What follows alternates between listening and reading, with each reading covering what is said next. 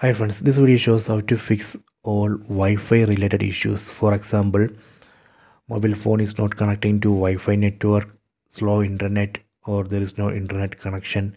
All those issues we can fix. Go to settings, tap on the settings app icon. Go to connection and sharing.